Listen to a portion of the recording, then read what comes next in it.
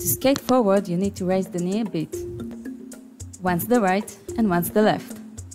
The leg should be placed in an angle like this.